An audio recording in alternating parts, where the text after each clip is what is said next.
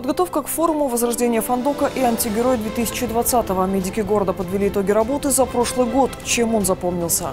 Это большие итоги, самые яркие информационные акценты недели от тех, кто видел все своими глазами. Я Мария Бересневич, мы начинаем. Welcome to Russia, бонус за детей и прибавка к пенсии. Февраль принесет целый ряд изменений. Что стоит знать белорусам? Большой разговор. В Могилеве прошла областная встреча участников Всебелорусского собрания. Все предусматривает э, рост благосостояния населения. Что еще обсуждали представители правительства? От картин до ульев. На сегодняшний день мы ничем не отличаемся от каких-нибудь коммерческих, а может быть и иностранных предприятий. Как сказался инвестиционный проект на работе Фандока. Покажем. Уступи пешеходу. Госавтоинспекторы призывают к вежливости на дорогах. 1838 водителей было привлечено к административной ответственности за непропуск пешеходов на пешеходных переходах. Какие правила спасают жизнь? Уголовное дело за штурм, перенос Канского кинофестиваля и последняя роль. Ушел из жизни народный артист Василий Лановой. Какими картинами запомнилась легенда? До главного политического форума года остается всего 11 дней. В стране продолжают свою работу диалоговые площадки. Тем временем телеканал «Бобруйск-360» знакомит горожан с народными делегатами. Наш город на Всебелорусском собрании, напомним, представит 33 избранника. Максим Кембель обо всем по порядку.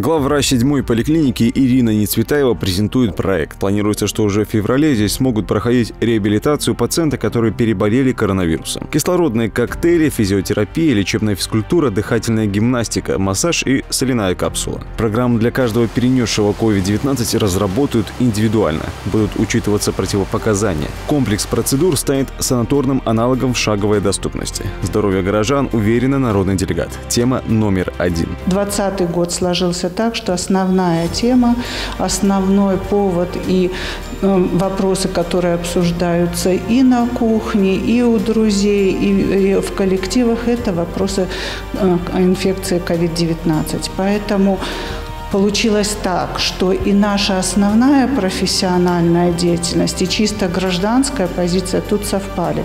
Мы стараемся сделать все, чтобы помощь была доступной, более качественной, и вот разработали систему реабилитации для пациентов, перенесших ковид, потому что таких ну, к сожалению, в нашем районе тоже очень много людей. Для реабилитации пациентов в поликлинике есть и возможности, и ресурсы. Например, вот эта капсула – мини-аналог соляной пещеры, только для одного человека. Это простой и приятный способ укрепить иммунитет и предотвратить простуду. Полезна процедура при хронических болезнях, лор-органов и аллергиях. Такой соляной капсулы больше нет не то чтобы в городе, но и даже в области. Сейчас мы хотим ее использовать именно для лечения пациента, перенесших пневмонию, ассоциированные с ковид-инфекцией. Социальная политика, образование, здравоохранение. Эта тема волнует делегатов Всебелорусского народного собрания в первую очередь. Однако последний вопрос по роду деятельности ближе всего. Руководить седьмой поликлиникой Ирина Несветаева без малого 15 лет. Свой трудовой путь начинала санитарки в больнице имени Марзона. Это громадная честь, большущая ответственность. Но я вам скажу по секрету, что это еще исполнение моей давней-давней мечты. Я всегда интересовалась политикой, хотела быть в гуще событий. И с первого белорусского собрания 96 года по-хорошему, не по злому, а по-хорошему завидовала людям, которые были делегатами вот такого большущего и важного для страны форума. Вот моя мечта сбылась.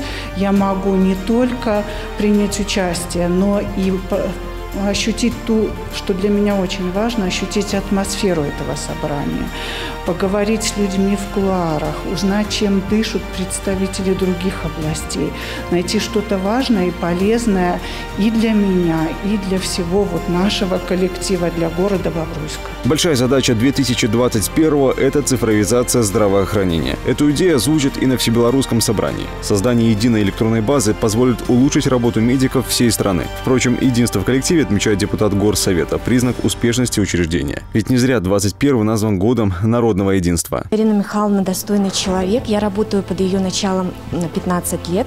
Ирина Михайловна очень требовательная. Она требует от каждого сотрудника обязательно профессионального роста, развития. Она создает одновременно и атмосферу и уюта в коллективе, и атмосферу взаимопомощи. Представители промышленности тоже собираются в Минск. Светлана Карпицкая в их числе. На деревообрабатывающий комбинат начальника центральной лаборатории Фандока привела любовь к древесным нотам. Сегодня опытный специалист и по совместительству народный делегат и не представляет себя в другом амплуа. Следить за качеством сырья – главная задача. Хочется отметить, что у нас лаборатория аккредитована, и лаборатория участвует во всех э, производствах, на всех этапах производства э, изготовления продукции, начиная от входного контроля материалов, оканчивая испытаниями готовой продукции. Хочется отметить такие виды испытаний, как определение формальдегида в клееной фанере, и определение радионуклидов в древесине, и дозиметрический контроль. Без крепкого и профессионального коллектива ни о каком успехе речи быть и не может. Светлана Карпицкая уверяет, высокое звание делегата Народного Веча – заслуга всего Фандока. Коллеги отвечают тем же поддержкой и восхищением. На Всебелорусском собрании делегат Карпицкая главным вопросом для себя ставит поднятие престижа рабочих специальностей. От работников производства в основном зависит экономика нашей страны, а значит и благосостояние граждан в целом. Считаю, что нужно больше рассказывать о работниках те, которые работают на заводах, в цехах, о рабочих династиях, о тех, кто всю жизнь посвятил себя любимому делу. Люди бы понимали, что для красивой жизни нужно трудиться. На повестке шестого Всебелорусского собрания тем много. Экономика, медицина, промышленность, сельское хозяйство. Большое внимание к сфере образования. От профессиональности последней зависит успешность первых. С такого тезиса начался наш диалог с учителем высшей категории, директором 31-й школы Татьяной Тихановской. Профессия самое, что у меня есть, прекрасная. Никогда не жалела о том, что я работаю в системе образования. Не стремилась к карьерному росту – но так получилось в жизни.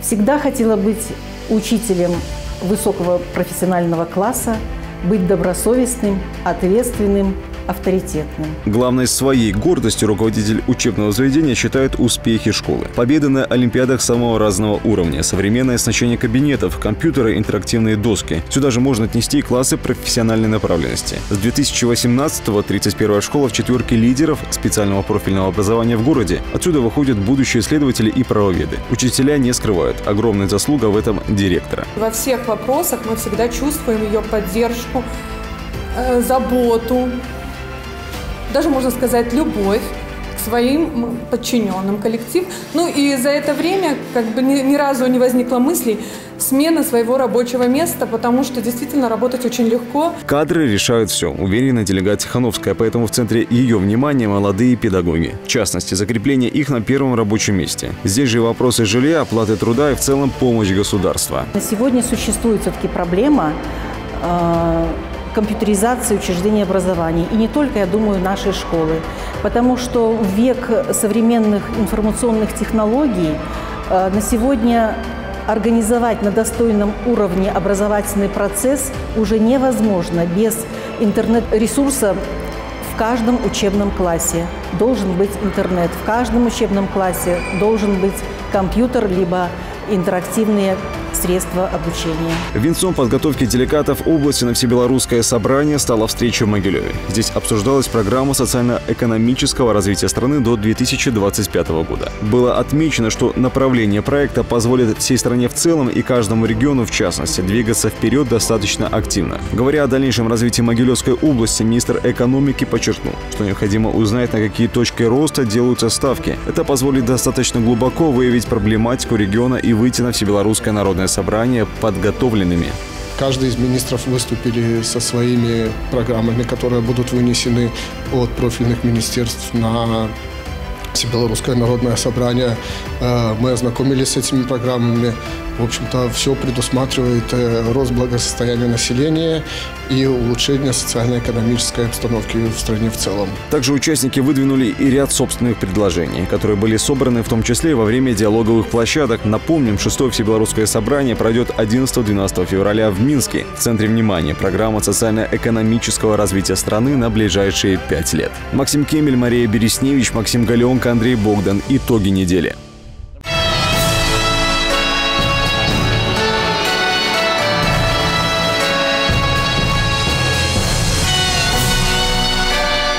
Плюс к пенсии, база с незанятыми в экономике и надбавки для малышей. В Беларуси вырастут пособия на детей до трех лет. Когда? Громкие заголовки недели далее в специальном обзоре. С 1 февраля в Беларуси вырастут пособия на детей до трех лет. Повышение связано с ростом средней зарплаты. Таким образом, сумма на первого малыша составит без малого 473 рубля, на второго и последующих – 540, на ребенка-инвалида – 608. Для исчисления пособия будет применен размер среднемесячной зарплаты за четвертый квартал 2020 – это 1351 рубль. Белорусы уже с понедельника смогут въезжать на территорию России. Среди обязательных условий – использование определенных воздушных пунктов пропуска и наличие отрицательных тестов на коронавирус, отображаемых в специальном мобильном приложении. Всего для путешественников предусмотрено 20 аэропортов. В их числе московские Домодедово, Шереметьево, Внуково и Жуковский, а также воздушные гавани Санкт-Петербурга, Калининграда, Сочи, Владивостока, Новосибирска, Казани и некоторых других городов.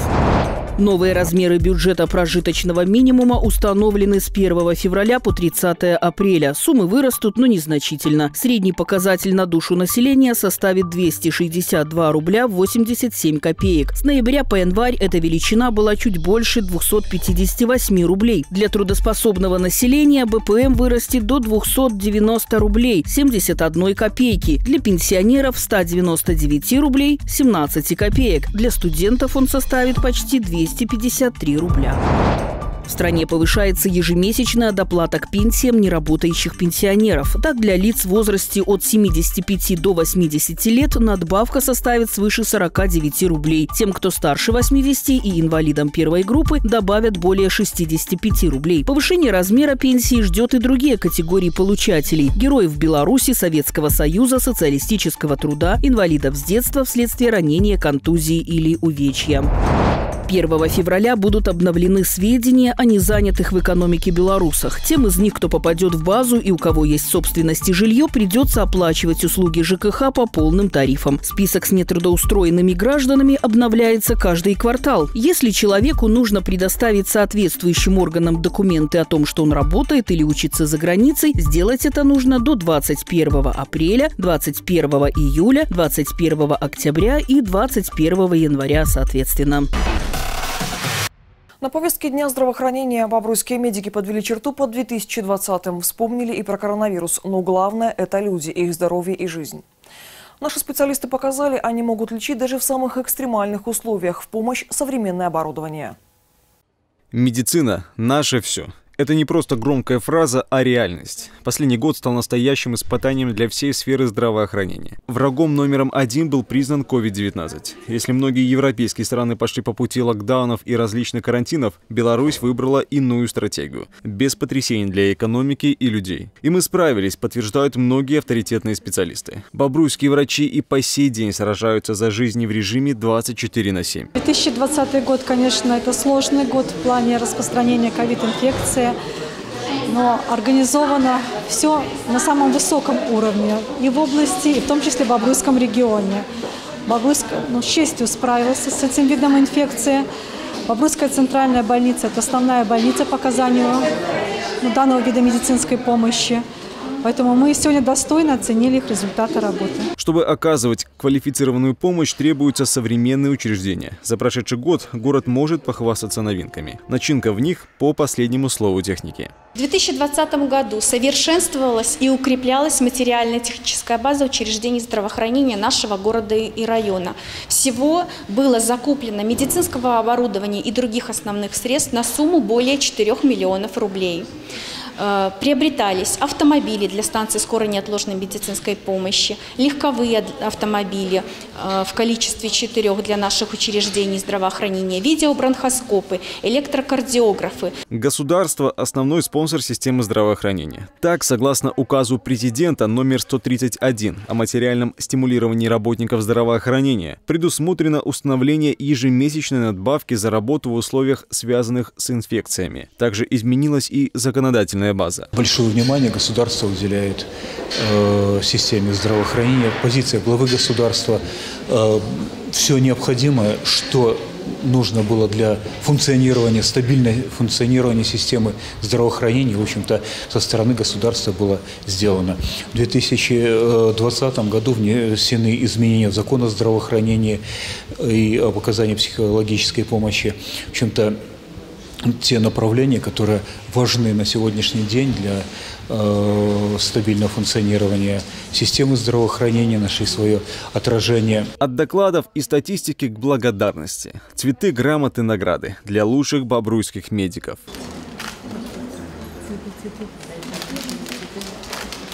На достигнутом, безусловно, никто останавливаться не собирается. Белорусская медицина и впредь будет развиваться. Главное – отвечать современным вызовам и беречь здоровье людей. Максим Кембель, Максим Галеонко. Итоги недели.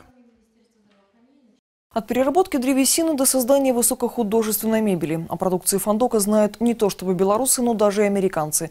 География поставок – четыре десятка стран. Тем не менее, еще пять лет назад предприятие находилось в плачевном состоянии. Как удалось исправить ситуацию и выйти на рельсы рентабельности, смотрите сейчас. Фандок – предприятие, которое ведет полную переработку древесины, лесозаготовка, разделка хлыстов, выпуск пиломатериалов, клееной фанеры, мебельных щитов, столярной плиты и изделий деревообработки. За последние пять лет на фабрике существенно улучшились условия труда. Линейка продукции бобруйского бренда широкая – от дверей бытовой мебели до картин из дерева и даже ульев. Так как наша продукция реализуется на экспорт, у нас действуют международные сертификаты. Одних, один из них – это сертификат КАРП, сертификат ЭПА. И недавно у нас получен еще один сертификат на фанеру клееную. Наша продукция реализуется более чем в 38 стран мира. Рынки – это рынки Польши, э, Румынии, США, Канады, Индия, Ирана – и этот круг расширяется, потому что наличие именно вот этих сертификатов позволяет расширять нам рынки сбыта. Однако известное предприятие едва не закрылось из-за неверно выбранной тактики. Один за другим останавливались производства, но вовремя принятые меры позволили реанимировать фабрику. На полную мощность заработали годами простаивавшие цеха. У руля стал новый руководитель. На тот период пришлось таки решать горящие задачи, то есть это решение какого-то финансового вопроса, идти абсолютно на непопулярные меры. Это и сокращение численности, и э, уменьшение норм, и расценок и так далее. То есть, но поэтапно, потихоньку удалось ситуацию выправить. Ну а дальше уже с передачей функции управления Банку развития, конечно, предприятие начало развиваться. И э, на сегодняшний день мы ничем не отличаемся от каких-нибудь коммерческих а может быть и иностранных предприятий и по уровню заработной платы, и по уровню отношения к работе, и по уровню выработки. В рамках инвестиционного проекта на Фандоке организовали производство плит ДСП, модернизировали фанерное и лесопильное производство, построили и мини-ТЭЦ. Это позволило не только обеспечивать предприятие тепловой энергией, но и даже продавать ее соседям. Конечно, старый Фандок. Вы не представляете, какие старые дороги. Наш Фандок расположен на две части э, улицы Ленина. С одной части возили на санках лесовозы пиломатериалы в другую часть. Естественно, по дороге доски терялись, санки ломались. Это по всей территории. Возились опилки, по всей территории была пыль, опилки. И вот вы знаете, за последние пять лет наш фондок не узнать. Я сейчас председатель Совета ветеранов, но когда приходят ветераны к нам, они смотрят и говорят, какой фондок, какие бытовые условия, начиная даже с управления. Вот знаете, когда нам в управлении сделали хорошие бытовые условия, я всегда а, проводили совет ветеранов, я говорю, сходите в туалет, посмотрите, какая там чистота, и туалетная бумага, и зеркало, и мыло. Такого не было. Модернизация всех производств снизила затраты на выпуск продукции на 24% и увеличила объем производства в три раза. Соответственно, выросла и заработная плата. В декабре 2020-го это 1062 рубля 50 копеек. Построили этот новый цех. Сделали нам вентиляции, тепловизоры нам сделали, вентиляции везде, электронное оборудование сушки. Это клеевое отделение у нас. Все станки у нас новые, пресса новые, лущильное отделение у нас, линии вообще новые на компьютерном управлении, хашимоты у нас новые. Нам сейчас работаете очень хорошо. И тепло в цеху, и вообще и заработок нас устраивает. Сегодня «Фандок» – это успешное предприятие, на счету которого территория в 44 гектара, 5 производств и 1200 работников. Пережив непростые времена, здесь ценят то, что имеют. Мария Бересневич, Дмитрий Шевцов. Итоги недели. В период пандемии в мире увеличилось число случаев насилия в отношении женщин. По данным ООН, в ряде стран количество обращений на специальную горячую линию выросло в пять раз. Домашнее насилие остается одним из самых распространенных и трудноискоренимых нарушений прав человека. Под этим понятием понимается не только избиение и сексуальное домогательство, но и психологический прессинг. Первый звоночек, отмечают специалисты, это когда не хочется идти домой. Очень важно, чтобы жертва понимала о том, что ну, есть она в этом насилии, тогда можно как-то строить работу. Вот как раз-таки, когда физическое насилие, то ну, там где-то кто-то видит, да, синяки, кто-то как-то наталкивает на то, чтобы она обратилась за помощью. А когда человек находится в эмоциональном насилии, они всегда не могут видеть даже о том, что действительно находится, ну, что у них есть такой вид насилия. Да. Конкретно у нас есть кризисная комната, где женщина, если попала в беду, да, то есть она может э, помещается туда с целью того, чтобы уйти от агрессора и чувствовать себя в безопасности. А, как туда попасть?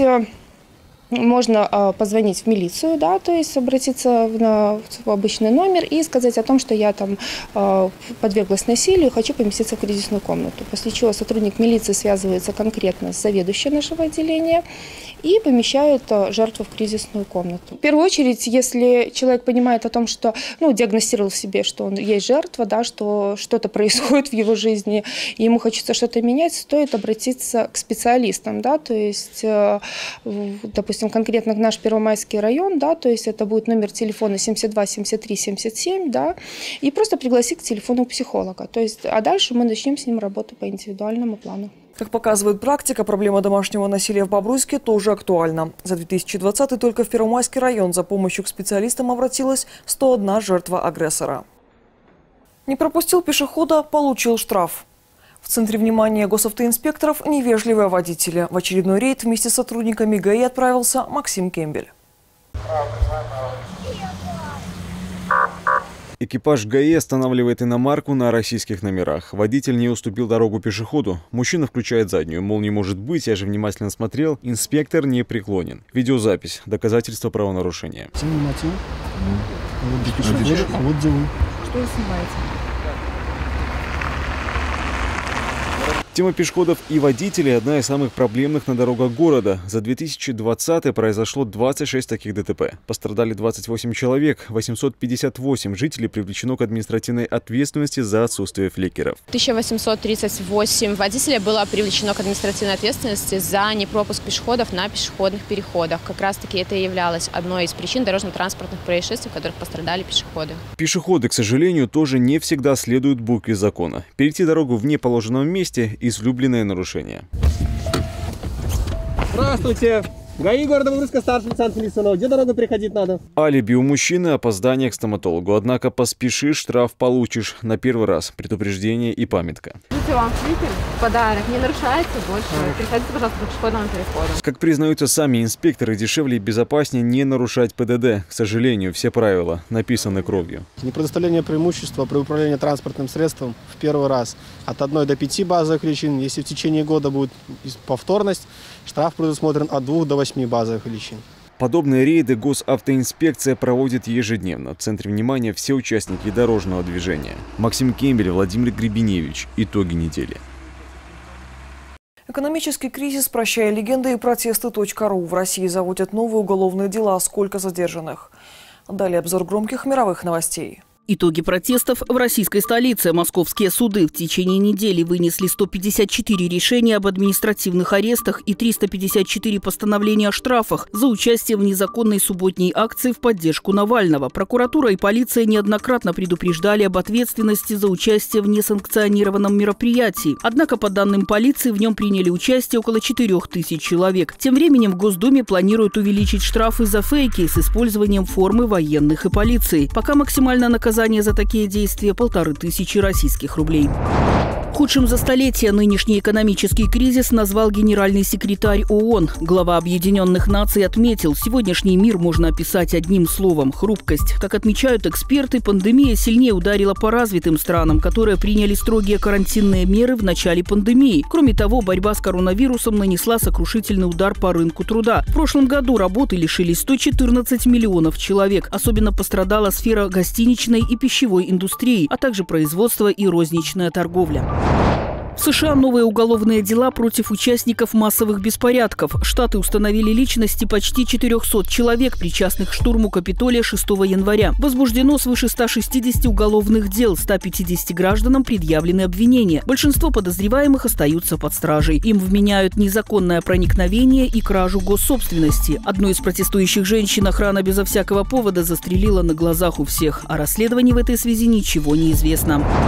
Печальная новость пришла из России. На неделе не стало великого актера, народного артиста СССР Василия Ланового. В начале января у него диагностировали коронавирус, от которого актер так и не оправился. Широкой публике он известен ролями в фильмах «Алые паруса», «Офицеры», «Война и мир», «17 мгновений весны», «Анна Каренина». Карьера Ланового связана и с нашей страной. Он снимался в картине «Встреча на далеком меридиане», которая была создана в коллаборации с Беларусь фильмом. Василию Лановому было 87 лет.